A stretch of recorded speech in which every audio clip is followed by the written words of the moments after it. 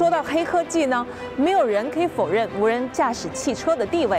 硅谷啊，就有这么一家初创企业，不到一年的时间内，这个仅有三位创始人的小团队，就凭着过硬的技术力量，一举拿到超过两百万美金的天使融资。What is the killer technology that tells you apart from your competitors? A lot of automobile companies are trying to tackle this problem. 这里是 VV 闯硅谷，和你们一起用创新的力量改变世界。